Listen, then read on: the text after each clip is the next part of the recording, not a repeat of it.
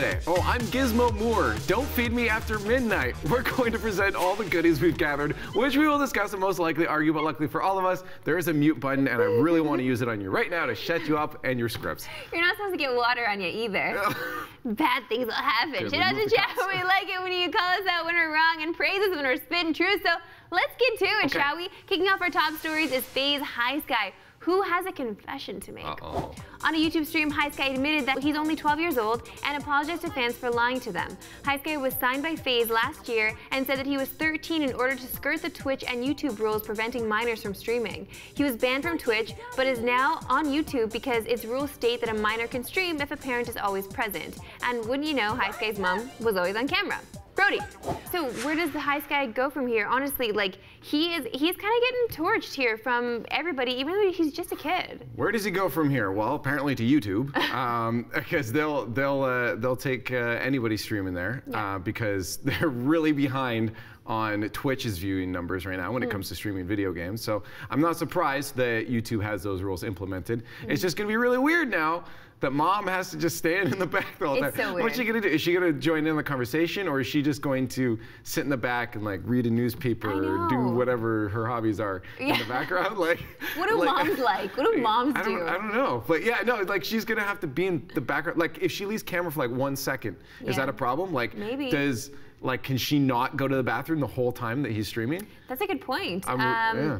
Like he might have to. They both might have to take a bathroom the same time, like a little uh, commercial break from the stream, and they both leave because she has to be present at all times. Because you know somebody, because people are really upset about this. You know that somebody's going to be watching all the time. A few people are just going to be always keeping an eye on it just to get Mm-hmm. this kid in trouble because they don't like how he lied. And also, like, there's a lot of haters out there, right? He got he got signed to FaZe, and Yeah. and I don't know. The thing is, like, I don't know who to blame here because obviously a lot of this comes onto FaZe. FaZe is in hot water for it as well. Yeah. But it's like, is it on them to make sure that everyone they sign, like, do they check the have to check the birth certificate of everyone they sign? You know what I mean? Like, is that Well, part I'm, of it? yeah, I mean, I'm not like, I mean, that's why he's banned now because they eventually found out. They do it on good faith, I suppose. Yeah. But uh, I mean, I, I'm not really blaming the kid. I mean, it's not. High Sky's he's 12, man. Yeah. Like I'm not holding any 12 year olds really accountable for anything they do. They don't know what they do. The kid's like, hey, I got a good opportunity. Why would they be able to find out? I don't Well, see any way they could find out because he knows nothing about how they could find out, right? He's just a kid. Just so he's going to try to get away with it, of course. I tried to get away with so many things when I was a kid. Whether I did or didn't is a different story. It's just I tried, and every kid's going to. So I don't blame the Yeah. kid. I blame uh, any legal guardians that maybe would have let him do that uh, at the same time. Well, I don't know if And, the thing is, like- FaZe for me not doing a full investigation. I just don't know if he's still lying though, because apparently he's actually 11. Like that's what Tfue No, when he was, was saying. signed. When he so was when he was signed, he was, was a year ago. 11.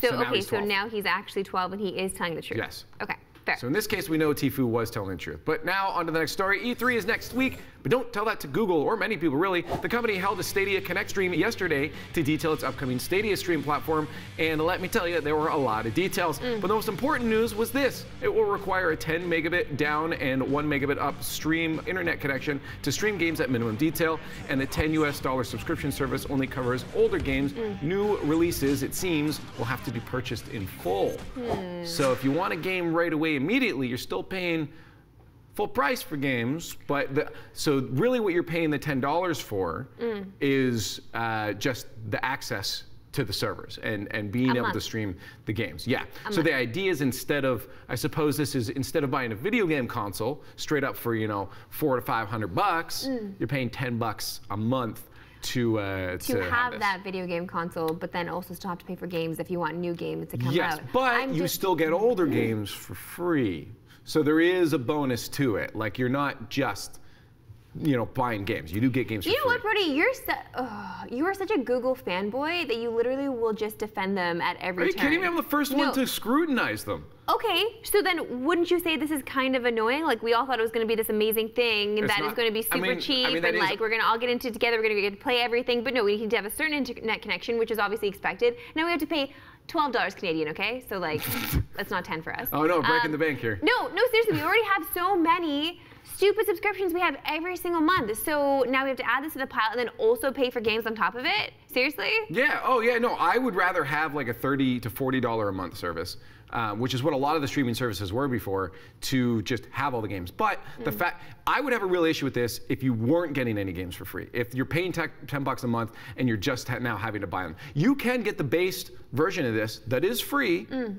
That is free, but you have to pay full games and you don't get the free games. Okay. So basically, now you're just paying for the games to stream them, right? So the $10 a month gets you old games for free Mm. um, and allows you to stream up to 4K if you have the internet connection to support that. So 10 bucks a month, fairly reasonable. I'm probably not going to mention that I did buy the Founders Edition already. You're so annoying. I knew it. You're already stuck in that. Mm. Listen, in this week's unfortunate Borderlands 3 news, Gearbox confirmed that Chris Hardwick would be reprising his role as Vaughn. This news comes after actress Chloe Dykstra accused an ex-boyfriend of sexual and emotional abuse. While she didn't name anyone, it was believed by many that the boyfriend in question was Hardwick. Dykstra tweeted her disapproval at the news and is auctioning off her Borderlands gear for charity. Brody, Yeah. this this upsets me I- for a I lot of different I reasons, enough and I don't details to talk about know. Okay, so um, Chloe, who's a lovely woman, um, ha- went through a whole thing where she decided she was going to tell the story of this abusive boyfriend. Okay. Okay, she never named the boyfriend. Okay. She just did. She did an article about it because she did want women to know that, like, listen, this happens. You need to be aware of it and try to stop it when you see these signs. Okay, because Well, it should just be a message just- to anybody, It should. It's a message to anybody. regardless yes. of your gender. Well, You absolutely. should speak out if that's happening to you, 100, yes. Not just women to men as well. You should. Nobody. Nobody should be verbally, mentally, any kind of abused in a relationship. Okay. So she put this out there. Didn't name him, but it was very obvious in some of the things that she was talking about that it was clearly Chris Hardwick. Okay. Okay. So Chris so Hardwick he also. stepped down? He he did not um, he did not step down, but you know how he hosts the show on A and E for The Walking Dead. He, Sure. Okay, so he did host the show. And he did their Okay. own investigation apparently, but uh, there was no cooperation from Chloe because Chloe didn't want to actually come out and name him because she didn't want to like flame his career or anything. But the fact that like Well, I mean, she- if, you- if everybody you made it that clear anyways, you're flaming his career, you may as well just say his name so now it's not up okay, for consideration. fair enough. So the fact that like now these companies are still working, I'm I'm just I'm just upset because it seems like Randy Pitchford just in general seems very out of touch. Okay, like he could have easily replaced Vaughn with Troy Baker, who's very talented and it can easily step into that Troy role. great. No problem, can be done. The fact they're giving it back to Chris Hardwick, which honestly, like the gaming community, I feel like is done with him. Like I have feels now about Borderlands, like going to do a Borderlands interview. Chris? I don't know. Like Chris won't be there. Like I'm definitely not talking to him. Hmm. But I just have But here's, about. here's my issue is What? the fact that he's never been named. Even if it's been obvious, why wouldn't she just say his name? Like say his name then. It's because now it's left up to speculation that oh maybe it's not him, and now No. you're creating a divide amongst people No. that are going to fight this. If you just say the name, there's no question for debate. The issue is you didn't say the name. That's not the That issue. like you're trying the issue is someone who was point. someone who is abusive, emotionally and mentally abusive, and used to be an alcoholic. Yes, he is sober now. Then say Like, the do we- name though. No, but there's no. What, what is the point now? What is the point Because now? you just created, it- now you're creating two camps. You've created more problems by not saying the name. Say the name, call people out. like I'm gonna call you out right now For what? For being annoying AF. You're annoying AF. Just go, Jesus. we're out of time. The biggest video game story of the week, surprisingly, isn't about E3. According to a new report, Blizzard is actively working on Overwatch, duh, which they'll announce at BlizzCon 2019. Apparently, it will not only feature the same PvP modes, but a new PvE mode as well. That's apparently all we know, but we have heard the Oh. devs saying that uh, it feels a lot like Left 4 Dead, is what they're Oh. relating to. Do we need an Overwatch 2, Marissa? No. Like, if it feels Why like kind of odd. Are they going to replace that in the OWL, or is this like? I don't. It's kind of weird that we're having a second one. This is weird What changes are they going to make? Like, why do we need an? Yeah, exactly. No, it's strange because like to me, the updates in Overwatch and what we get new in Overwatch are the new heroes, right? Like that's that's what's new. That's what's exciting. And then they can add new maps because it's a competitive game. This is what you need to do. Like the same deal with CS:GO. CS:GO does not change. CS:GO maybe gets a new map and that's about it. Or R6. And they've been R6 adding game change. modes to Overwatch already, and they also Yeah. added the the ability to write scripts and create new game modes. Why can't they just put it into this one? Mm-hmm. Like, why do they have to make a new game Like, is this just I- to sell more well, it's- copies? Like, you can build this in Well, yeah, to exactly. the game It's that just already to sell- exists. It's just to sell more copies. That's all it is to people on the outside. I don't think this really, uh, maybe this won't even affect the esports community at all. This is probably just something that's going to come out for, you know, the outsiders to play and get excited about Overwatch, and then maybe slowly they'll introduce those heroes that they come out with Mm-hmm. for that game into the competitive scene of this Overwatch, because there's already a system in But place here. n- now they're going backwards too. Like, are they going to be supported simultaneously? Because then, if you call Overwatch 2, it seems like it's the new, better thing. Right. You shouldn't keep su- like putting into the old one when you Yeah. got the new one, right? Yeah, this is just really confusing. I don't know. You play a lot of Overwatch though. Like, have you been feeling like maybe you want a little, a little something special, a little sparkle, a little sheen? Well, I mean, I could I could list off a whole bunch of changes that I'd like, um, but I guarantee you that they're not going to do that into the next one because like it would completely change the competitive scene. Mm. Uh, my, I mean, I want less people on the field. I want less people on a team, but there's Oh. careers out the window, so they're not going to do Oh. that, right? Imagine all of a sudden they're like, actually, uh, you know, a whole like third of the our Overwatch league don't have careers anymore.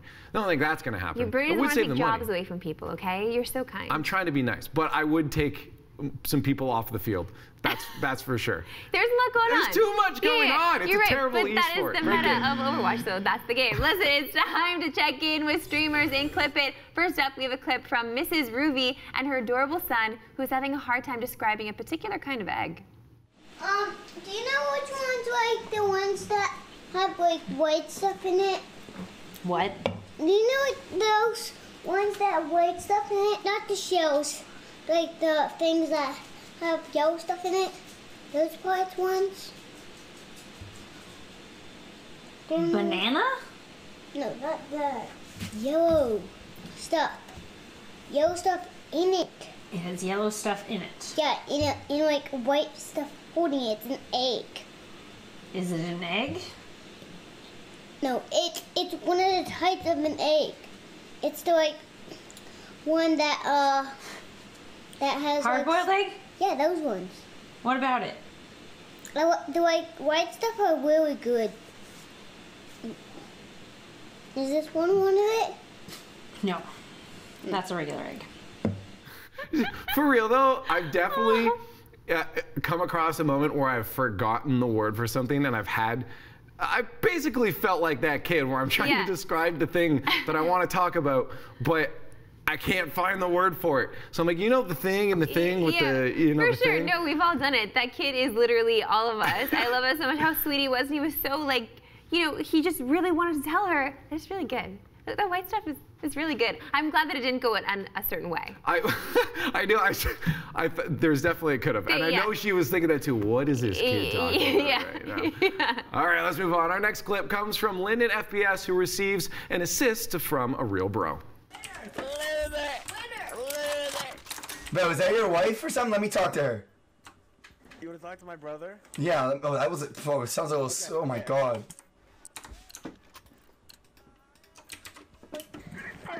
Hey, what's up, man?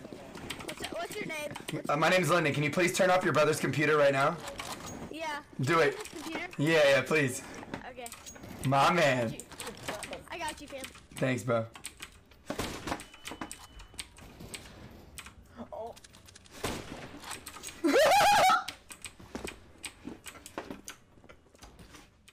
Oh my God! That's rude. That's real. He's got That's he's super he's rude. got paid plants in every everyone's room. Seriously. Yeah, That- don't worry, I got you, bro. Uh-uh, that's not that's not a real bro. A bro would stick with his bro.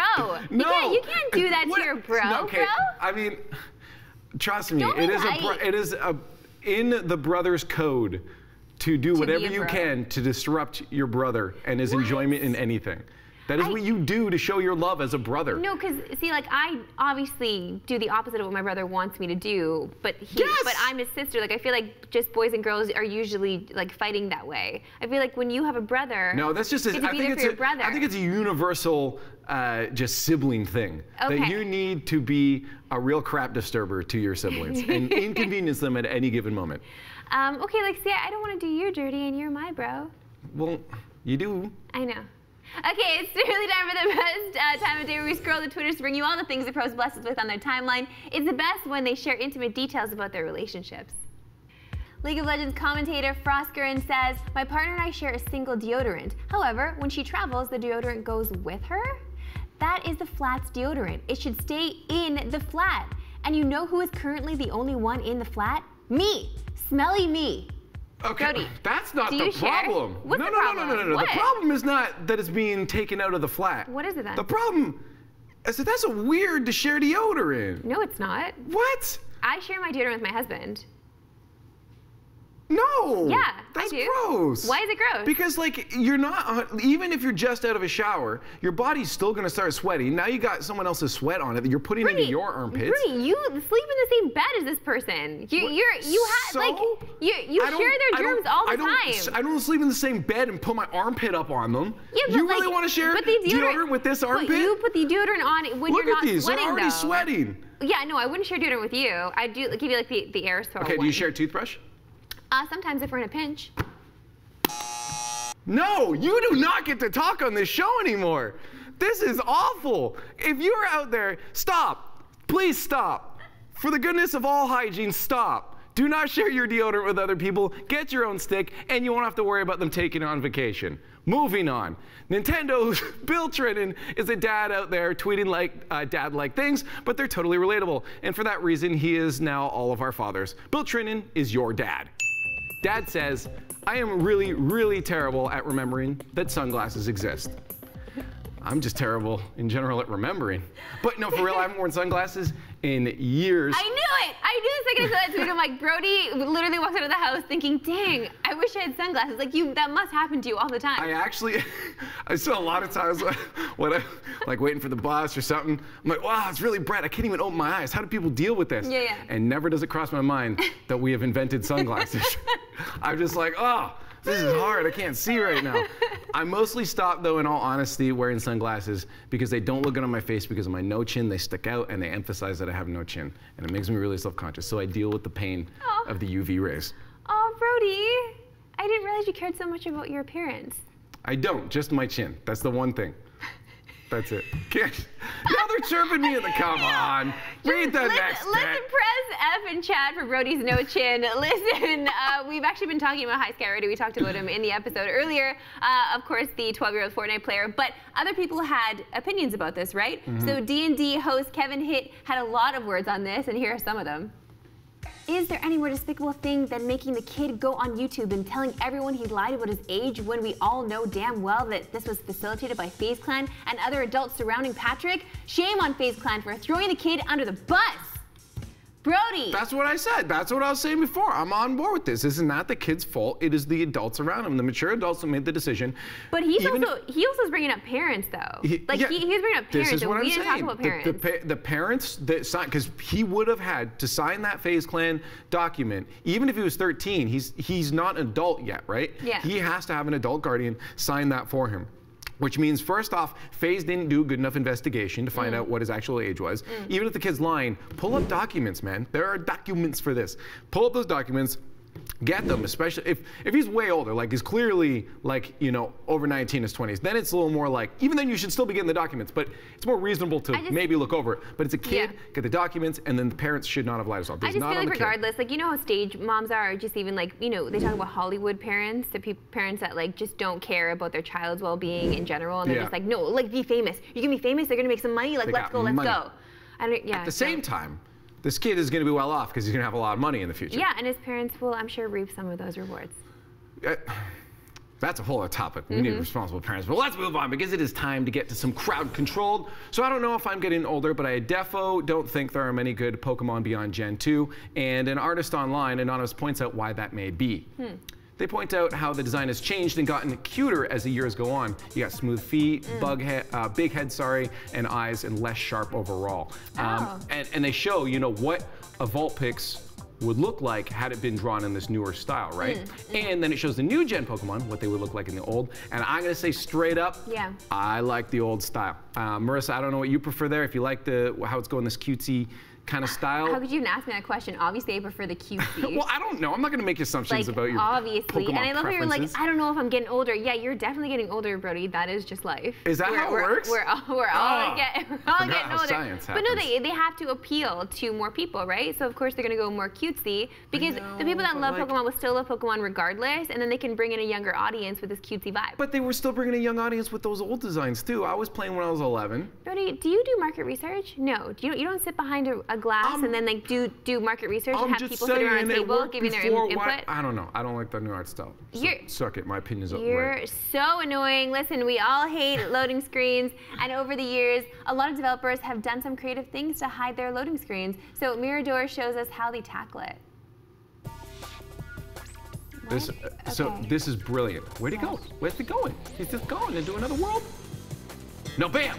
There's the new world. That's so sick. That's cool. Yo, Uh-huh. that looks like Bastion. Uh, yeah, it's, it's uh, I don't think that game's actually out yet. Oh, wow. Yeah, yeah, yeah. But uh, well, I loved it. It's for me. It was I saw a big change in loading screens with Uncharted. Yeah. Uh, Uncharted student started doing it behind the cutscenes. Tomb Raider took after that too. You know when she's going through crevices, Mm. Yes. That's when they're loading the next levels. Oh, so cool. Uh, Portal did it uh, with the elevators. Yeah. There's a lot of brilliant ways. I love it just to make these games seem more seamless. Now with the next Oh, gen yeah. though, with SSDs, PS5 was showing off uh, their tech. We're just not going to have to worry about the creative things anymore yeah. because there are no loading times, and I'm looking forward to it. I wonder if Kojima is gonna have loading times in his new game. Because don't you remember with all of his games, there was just like the longest loading times before anything? I- like the it cutscenes that would happen? It wasn't the loading times that were long. It was the 14 to 30 minute cutscenes that were long. You could load loading. 40 games in that time. It was brilliant. Anyways, so our last post is a glitch that shows us how to assert dominance and truly invoke fear in your opponents. When will your boss be here next? A few days. Let me go. I beg you.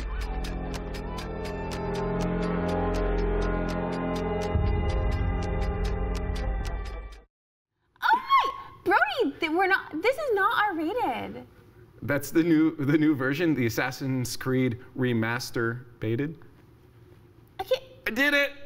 I don't listen. I don't know if we were allowed to But we did that it. or not. Either way, I Um, love those glitches, and we that- need more of those in our life. Exactly. I must say that was a very good glitch. I see. I would. Yeah, I would have clipped that too. I, I'm sorry. That, that was a good one. Mm-hmm. Okay, then I'll I continue capturing more of those moments for you guys to enjoy. Yeah, I know, but can you save them? Because I'm not going to be here for a week. I'm going to E3. All right, I will save all the good ones so Ron doesn't get any good moments Aw, on crowd so control. much. No problem. That's how you show I'm kidding. love. He's getting all the best ones. I've already been saving them up. That's true though. Ron will be here right in the spot all next week with Brody. Cannot wait to watch you boys do your thing. I'm gonna be at E3 with Camille and AJ, uh, bringing you guys the, guys the goods there. Uh, that's it for Unmuted. Be sure to hit us up and say hi on Squad State. We are there everywhere on socials, and we'll see you next time.